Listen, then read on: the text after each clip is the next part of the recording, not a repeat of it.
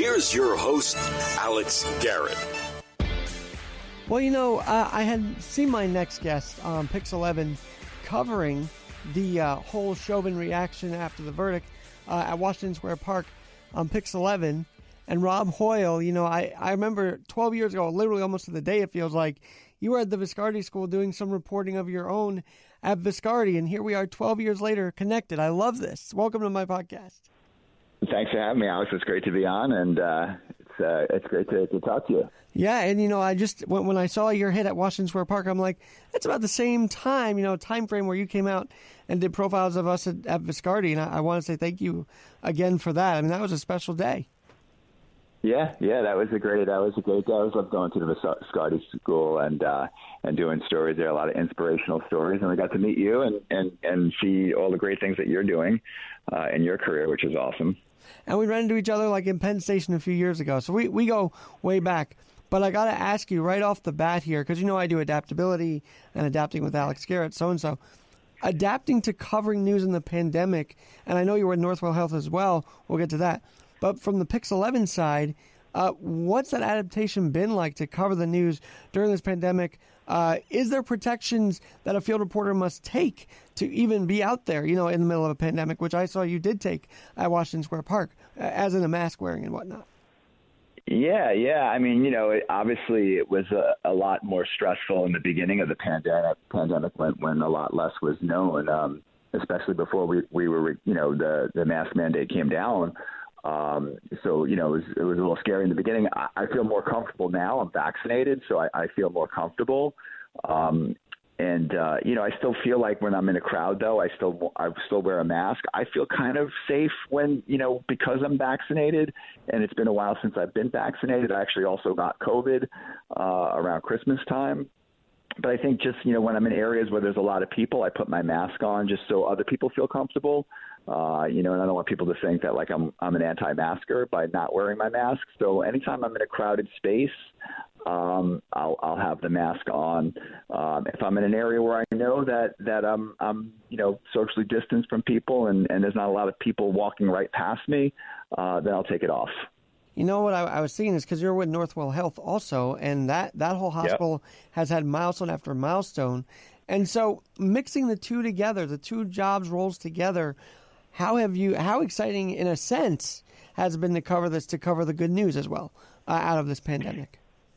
It's great, you know. I mean, that's one of the things too that we try to to highlight at Northwell Health. And Northwell Health is a, is a huge health system, and we have 22 hospitals and a ton of ambulatory sites. So, you know, we highlighted those stories that were, um, you know, the the wins, the feel good stories, the people who who were able to, you know, get out of the hospital, some people who, you know, we did a story about a woman who who was pregnant and had COVID, and she was in really bad shape, and they delivered the baby. Um, and she didn't get a chance to see the baby till like a month later. So it was a great reunion to see her and her baby reunite. We did a lot of um, you know milestones uh, at North Shore University Hospital when the thousandth patient was released. Um, you know, it, it was tough for the doctors and the nurses, so those wins were important uh, and there were great stories to highlight. Also, interesting what you were just talking about about safety. What we were doing at Northwell uh, through technology, which is great. We're able to share our story, so I can go. You know, I'll, I'll shoot video for Northwell and I'll be able to share that video uh, with the news outlets, and we'll say, "Hey, look, you know, um, you know, we're, we're, making this, you know, video available today. We released our 10,000th patient up at Northern Westchester Hospital, and and we have video of it, and we have a soundbite with one of our doctors, um, you know, that we can make available for you if you want to use it. And it was kind of interesting to see stations using it. I think a lot of stations and a lot of crews were very happy to be able to get. Um, you know, uh, materials from uh, from stations to be able to have you know content to use. And of course, you know, as a reporter, you know, they would call up and ask their questions to the doctor or, or to the PR people, uh, and make sure their information is accurate, um, and not just be doing a commercial for Northwell, but um, but also telling those stories, which was kind of cool. And also, we always made our doctors available through things like um, Teams and Zoom, so so reporters can ask questions. You know. Absolutely. So was, I was going to say nice. the Zoom life. I mean, you're an you want to be out in the field, so it, it must have been a little tough, uh, unless you did still do on-field reporting during the pandemic. But if it was on Zoom, I'm sure that was a little like, why can't I be out there again? You know that kind of feeling. Yeah, you know, but then there was also the feeling of too, do I want to be out there? You know, so like you know, during covering the protest, it was a little hairy sometimes because you know during the protests were the few times where all of a sudden you know social distancing wasn't really possible. Um, you know, you try to keep your distance, but all of a sudden, you know, hundreds of people turn a corner and they're walking past you, and you know, so uh, you know, always constantly uh, hand sanitizing and, and trying to stay six feet apart and wear the mask. Um, I didn't get sick from uh, covering the news. I don't really actually know how I got sick, um, but that's the crazy thing how how contagious this virus is. Is that you know I could have gotten it you know pumping gas at a gas station. I always try every time I do something like that. Go to the supermarket as soon as the moment I get back in my car, you know, hand sanitize, pump gas, hand sanitize. But you know, you never know. Like you you know you, you get comfortable, maybe you touch your face or or rub your eye, and next thing you know. Well, what, well, what can you tell us also? Because Northwell Health, Health made history with the vaccine. If you remember, the first person vaccinated in New York yeah. City was was one of your nurses. Did you cover that event at all?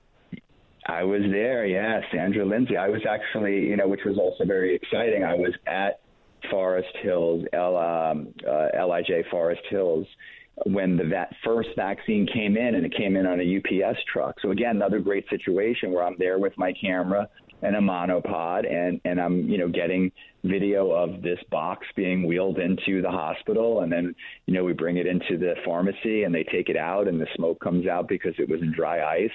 Um, and they took one of the vials out and went into a, a room and we got video through the glass of the pharmacist uh, mixing the, the the vaccine. And then uh, then they did a transport to LIJ where Sandra was waiting and the governor was there and yeah, it was it was a pretty awesome experience. So there were a lot of news crews that actually were in that big room that were able to shoot that video. We also had like you know made a video feed available for people who couldn't be there or you know couldn't get into the room to use. Uh, and then I made my video available later on, you know, through a Dropbox link. It's like, hey, if anybody wants a video of the first vaccine arriving, you know, we have this video, the first, that, you know, the, the of it being mixed and whatnot. So uh, kind of great to get that message out. And and Sandra Lindsay is she. We couldn't have picked a, a nicer, better uh, role model spokesperson for uh, getting the vaccine than Sandra. She was just awesome. I had worked with her before. Um, and she was just great, a great spokesperson for for the importance of getting the vaccine. And it was kind of cool that she, you know, we were at that press conference uh, on that day. I forget what day of the week it was. Maybe it was a Monday. I, I think it was a Monday. A gas- actually, I, I might be. Yeah, I remember going. I remember going into a gas station the next morning, and, and she was on the cover of every single newspaper: the Wall Street Journal, the New York Times, the New York Post, the Daily News, and it was it was cool to see. Uh, and then she started doing all. Then she hit the circuits, and she was on all the uh-huh. TV morning talk shows, evening talk shows. She was on the View. Um, but great, really good. You know, gave us hope, light at the end of the tunnel. Well, I was going to say, you know, covering this a year ago, and even in the summer of last year, because you add on the the riots and everything that happened. I mean, last year everybody felt like it was a rut we weren't going to get out of. But what are you seeing in the field now, Rob, uh, that you didn't see last year? Do you see a lot more optimism that you're feeling while out on the field, or or is there still some nervousness? What's it like from last year to now? Yeah, I think there's there's definitely a, a, a much uh, great sense of relief. I think we feel more comfortable. Uh, you know, we still we still don't want to let our guard down, but it, you know, most of the people that I'm working with now are vaccinated. And if I'm working with a photographer that I haven't seen in a while, you know, like that's usually the first question that I ask, or the first question that they ask, "Hey, you vaccinated? Vaccinated? Yeah." Then we feel we feel safe. We still, Channel 11 adopted a policy um, in the beginning of the of the pandemic to not um, travel together, which was kind of a, a little bit difficult um, because you know you're used to meeting your crew and getting into the live truck and then you know driving to the location together. And while the photographer is driving, you could be making phone calls, checking on the story, you know, maybe calling contacts, whatever. Now I'm driving my car, and then you know, and then of course parking is always difficult. You know, the news truck pretty much can park anywhere it wants. You know, it's got a billboard on it that says mm-hmm. Channel 11. So police and parking people usually don't give them a hard time, but my own personal car, it's like you know, well, I got to find the muni meter or whatever. So um, and, and we're still driving our own cars. I hope that gets lifted soon. I mean, the CDC says if you know you're with somebody else who's vaccinated. You don't need to wear the mask. You don't need to socially distance. Um, so we're hoping the station lifts that that ban soon, uh, as far as you know, so we can just um, you know get back in the truck with with the guys. Um, Rob, you've had you you said earlier you had COVID, so I'm guessing the work that you were able to do after getting COVID made you really feel a lot better. Like, what was that experience like? And then, what was life like covering the events after having experienced it yourself? Yeah, you know, uh, it was interesting. It's it's it's it's so wild how it affects people so differently. So I got COVID. It was it was strange. I got COVID the day after the snowstorm. We had this early December snowstorm, and I woke up and I felt achy, and I was like, oh no, like you know, because every time I during COVID, when you felt like something wasn't right, you're like, oh, I got COVID, you know, or, or oh my God, I hope I don't have COVID. So I woke up after the snowstorm feeling achy, and I said, oh, and I said, well, you know what? I was shoveling snow. I haven't shoveled snow, and I didn't think it snowed the year before. I'm like, I haven't shoveled snow in two years. That's why I'm achy. And working for Northwell, I went into in Northwell, I went into uh, to the office, and we were all pretty much working from home, but I had something to do that day and and I was just feeling a little bit off. And I had mentioned something to one of the security people, and he said, "Hey, you know, they're actually doing testing up on the third floor." I said, "Really?" And he said, "Yeah, why? Might as well go get a test." And I said, "Yeah, why not?" So I went up and got the test, and uh, didn't think anything of it. Started feeling better, and and that evening uh, I got the email that my test results were back, and I was sitting on the couch with my wife, and I said, "Oh, I got my test results." And I looked, I said, "Oh my God, I'm I'm positive." And she said, "No, you're joking." And and I showed her the email, and she was like, "Wow." And then she, she was like go downstairs in the basement, um, you know, to quarantine. And Chris but, but Cuomo, I, right, going downstairs to just quarantine from everybody. Yeah, you know, but by that point, like it was already too late because when I was the most contagious, I was already around my family. So it's really hard, right? Like when you live in a house with somebody, for other people not to get it when you when you have it. Um, but I was lucky. I mean, and my and I was lucky that in the regard that my family, you know, we all had very mild symptoms and we we recovered, you know, relatively quickly. Um, so that was good. Did it? Did it? Uh, at that point, annoy you a little bit that people may not have ever had it are sort of like, why are we in lockdown and whatnot? I mean, it, when you have it, it hits, it hits differently, doesn't it? The whole it one... certainly does, and it's scary because you know even though when I found out I was feeling good, you think, oh my God, like, you know, because I, I saw the stories, I heard the stories. My wife is a physician assistant. So she, she was actually at Forest Hills on the front lines. And, you know, she is a PA. She's a physician assistant. She's been a physician assistant for like 20 years and uh, maybe longer than 20 years. And she witnessed one death in her whole career. And basically, she was, you know, witnessing a death each shift and it was hard, you know. So like you get scared, like, oh my God, am I going to rapidly de- decline, you know? Uh, and or if I give it to my kids, are they going to get it and they're going to have it bad? Um, my parents wound up getting it, not from me. Like months later, uh, they got it. My mom, totally fine. My dad was on death's doorstep. Um, he wound up getting the monoclonal antibody infusion, and, and I believe it saved his life. Um, so you know, you never know what's going to happen. It affects everybody differently. So yeah, it was scary, but then like you know, after a couple of days, I started feeling better about myself. But when my dad got it, I, I was very nervous for him. Um, and but the mono, the monoclonal antibody infusion really really worked for him. And you're on Long Island, right? So what, what what's it like to see that whole area of Long Island open pretty much, and then you come to the city, nothing. It's like to me, it's such a confusing thing how one part of the state could be open, the other part is completely still shut down in a sense. It's yeah, you know, it was it was super eerie. I mean, like you know, you you you travel all over the city, and to see New York City quiet and to see New York City like kind of closed. I remember being at the Javits Center covering a story one one um, one Saturday, and and the story basically was how the the Javits Center was soon going to open uh, to treat COVID patients. And I was at the Javits, and you know, so I finished my shift, and I made a left on 34th Street, and I drove down 34th Street, and it was the most eerie thing. I hit every single green light. Like I've never driven, you know, from 12th Street all the way to the pretty much to the tunnel, like without a light. Like, and I went across town, like in minutes. You know, where you know I'm so used to being if you know I'm in a news van, you know, watching the light change three times before you even get through the intersection. Um, so yeah, I mean, I think my thought on that was that you know. Um, everybody fled the city and came to Long Island. So Long Island was a little more crowded. You know, the supermarkets, you know, would be crowded. It was a little scary going to the supermarkets, you know, especially with these weird things like, you know, not being able to buy toilet paper.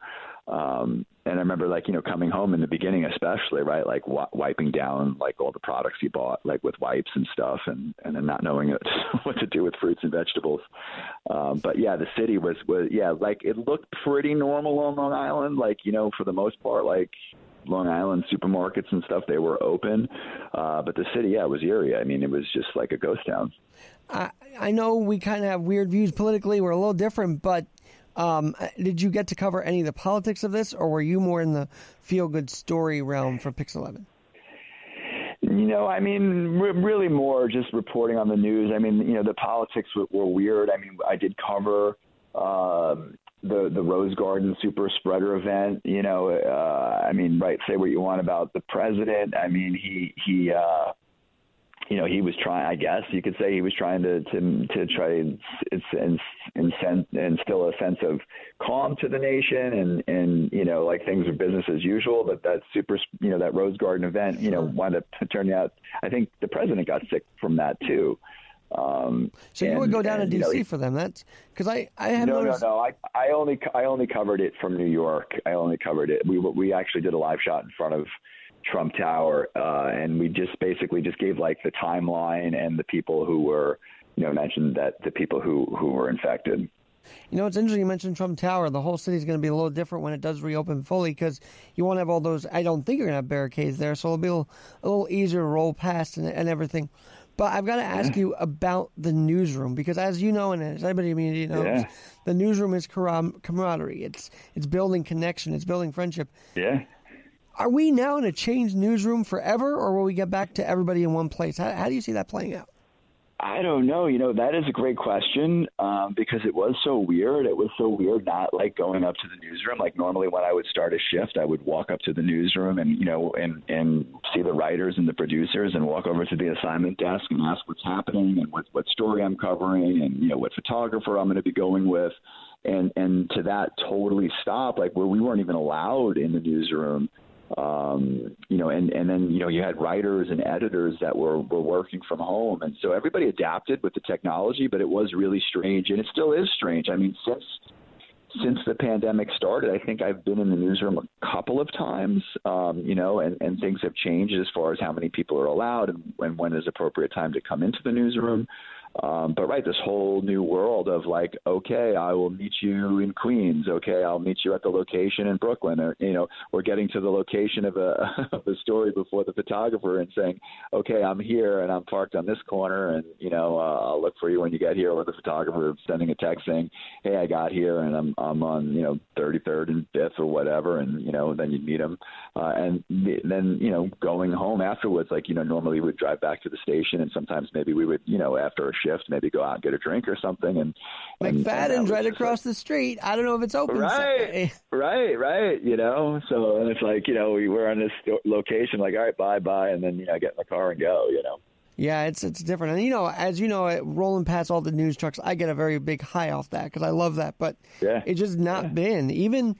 Uh, I don't know. I didn't even really notice it during the, the big parts of last summer and everything. Then again, I stayed out of there because I didn't know what it was going to turn into. So maybe there were news trucks, but normally I, I'm used to seeing them everywhere. They just have been reduced entirely. No. Uh, I don't know. I think the trucks are still out there, but you know, it's also true. I mean, we're going through a big change in, in, in, in technology. I mean, technology is amazing and it's always changing. And so, a lot of times, you know, like what was really interesting to see that you would have never seen before is that you started seeing live shots, right? Where the reporter is walking with the protesters or following Yeah. the protesters. Like, how do you do that? How long is that cable from the news truck? Well, it's it's not a cable anymore. It's a it's called you know the, when we talk about backpack journalism that the, the the photographers have this little backpack that they they wear on their back. Uh, that's called either LiveU or Dejero, and basically it's sending the the live video um, through cell cell channels, and and so then they can move around. So a lot of times, you know, we have these live trucks that we don't, don't even wind up using. We wind up using this backpack that that can transmit live. So I don't know if we're going to get to a point where you're not going to see those trucks anymore because now a photographer can drive in a crew car um, and and cover the news and you know just plug this this Dejero in. Um, some of the others, you know, New York One and um, FiOS when they were around, they're no longer around. But like News 12, like the you know some some of these backpack journalists can do it all by themselves, you know, um, which can be scary in situations where you have, you know, these protests that sometimes get a little bit out of hand. You know, it's definitely good to be with an extra person, you know. So um, I always like when I see some of these one man crews, I'm like, you know, hats off to you, you're brave. But I think our station and, and most stations always tell their, their crews, like, if you don't feel safe, get out of there run out, get out of Dodge. Exactly.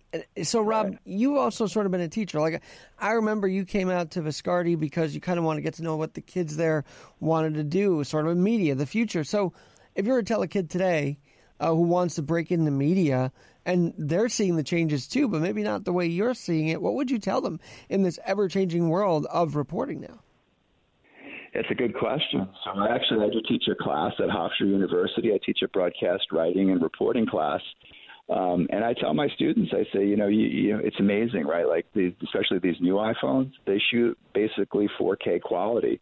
So I tell my students, you know, when you see something happening, right, and, and it's great that we have this technology, right? Because in the George Floyd case, right, if we didn't have this technology where everybody has cameras on their phones, right, that story could have been that, um, oh, some guy named George Floyd died in police custody. And, and people would have been like, okay, you know, next story. Like, but we saw it because people have cameras and and and we, we couldn't believe what we saw and and so you know that's what sparked all this reform. So i tell my students i say you have your camera phone. You see something happening record it.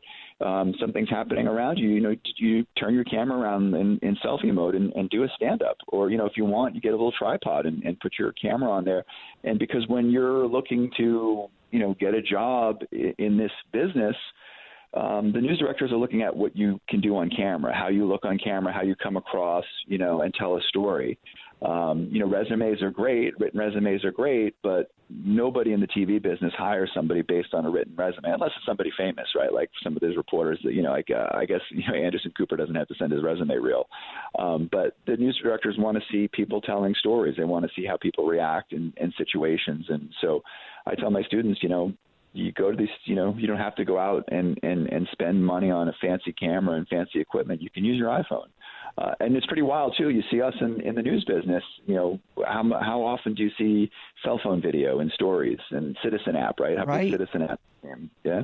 Well, you know, I was just thinking because over the week we saw this one kid who's now 18. She sort of got vilified for not stopping the George Floyd incident, but I guess there it's almost like how do you stop something like that? It's almost impossible. So, did that ever come up in yeah. your discussion with the with your students or not really? Nah, I mean, you know, not that particular question, but like again, I always say safety first. Always make sure you're you're you're safe, and always make sure you know you're aware of your surroundings. Like we always say this in, in stories too, like some of these strange stories where like somebody will just come up to to a random person and hit them or whatever. Um, you know, uh, and people who are on cell phones and not paying attention, you know, or more at risk. So it's like always be aware of your surroundings. You almost have like uh, spidey senses, right? Like you have a sixth sense. You can kind of tell when something's not right. Um, and that's when you really have to be aware in these situations where if you have to leave, you got to go. The George Floyd thing, yeah, these people were on the street. They were telling the police officers to stop. But what do you do?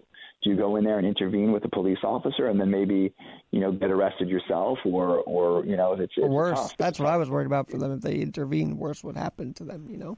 Right, you know, so you know, I think those people were kind of, and and it was, you know, I feel bad for them. They had to watch that, and they were trying to tell the cops, "Stop, stop! You're killing them," you know. Um, so, did you ever feel when you were out in the field that you were in danger at all, or not necessarily? I tell you, during the, the, the some of some of the some of the protests, yeah. I mean, it was you know, I actually called my desk and I'm like, I want to get out of here because you know, what's interesting is is that you know, police have always been I kind of like you know, you as a reporter, you're always kind of like, all right, if I'm if there's police there, I'm safe. You know, like you feel safe when there's police around. And during the protests, you know, sometimes there was there was a situation one time where people started throwing things at the police officers, and it was like we were in the middle, and it was like, oh my god, like, and sometimes like you could tell like the police weren't too happy with some of the coverage, you know, uh, from reporters. So sometimes you can you can feel like police looking at you like they no longer really like you, and and so like you're in the mid- we're in the middle as as as as reporters, and and it's like kind of no man's land, you know. So uh, and then you know when things start flying, it gets a little scary and intense. And not that somebody's trying to you know necessarily hit us, but like you know we're in the crossfire. Um, does that, so. does that but uh, personally does that irritate you that they're trying to attack cops that didn't even have anything to do with anything in Minnesota. That kind of was where I was frustrated. Yes. like, these cops are not doing anything. They're they're actually right, keeping you peace. Exactly. Peace. Right. They're right. Exactly. They're keeping the peace. They're doing their jobs. I mean, I think look, there's you know there's good and bad and everything, right? So I, I, I would say that 95 percent, you know, maybe more of cops are good. That they they took a, an oath to protect and serve, and that's what they do.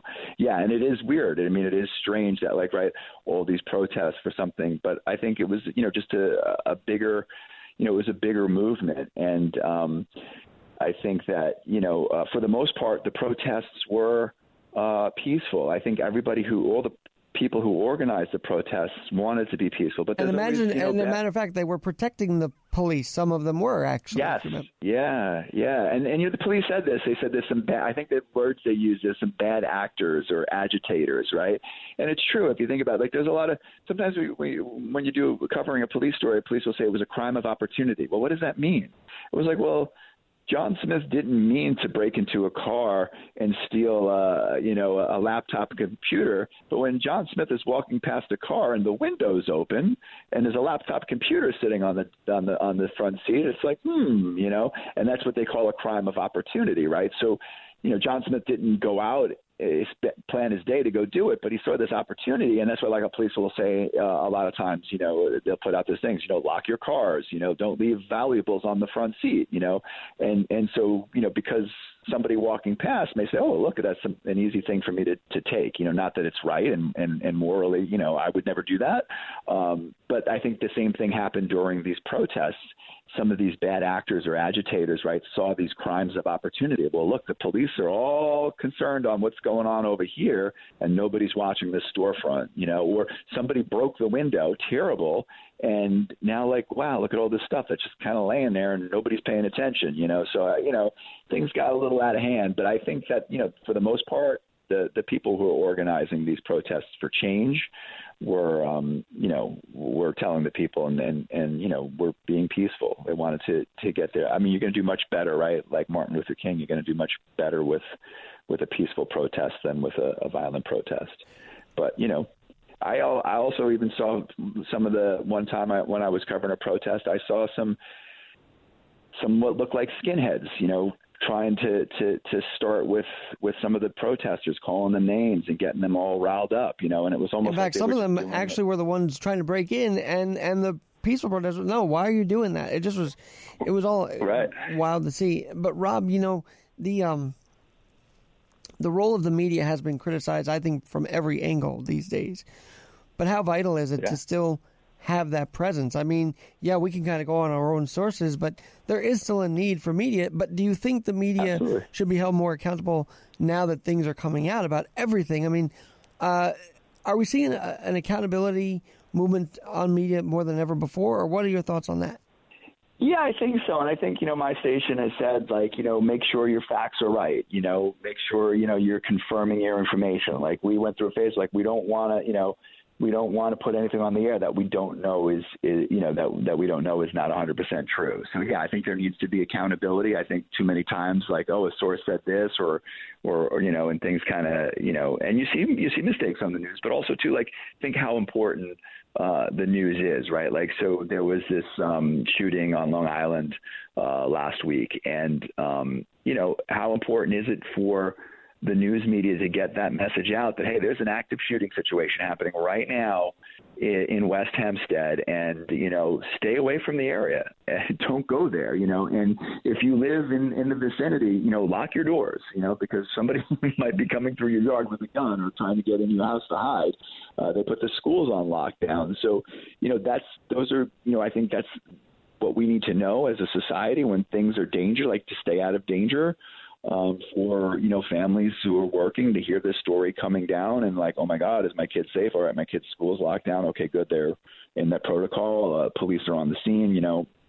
Um, so I, I think you know there's a lot of news that that you know we need news. We need information And I was uh, going to say, Rob, you, you guys are sort of competing with the national news outlets as well. So I feel like maybe you can agree or disagree that the rise of local news again is so important because maybe people, if they don't, doubt, if they doubt the national stuff, at least build the faith in the local news again.